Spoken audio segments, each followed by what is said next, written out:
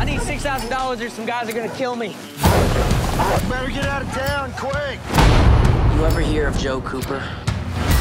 He's a cop, a detective actually. Got a little business on the side. What you do?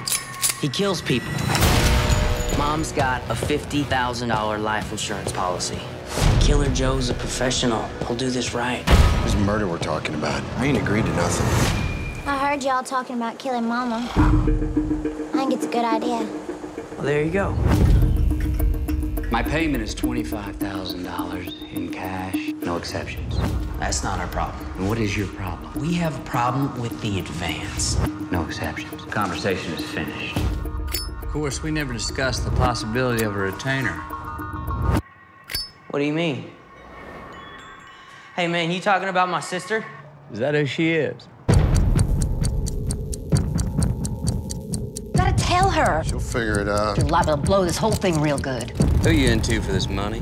What'd he say he'd do to you if you don't pay him? I'm gonna wrap you up electrician tape and bury you in a coffin about 10 feet deep.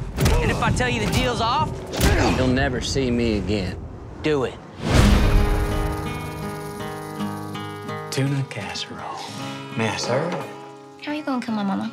That's not appropriate dinner conversation, Dottie.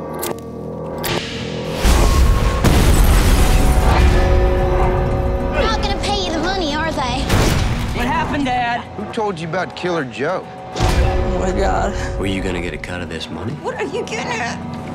Who's that? Joe, listen, we gotta stop this. A toast to my future wife. My sister never did nothing to nobody. I can't let you have her. The retainer is for the money. I'm not leaving until I get my money.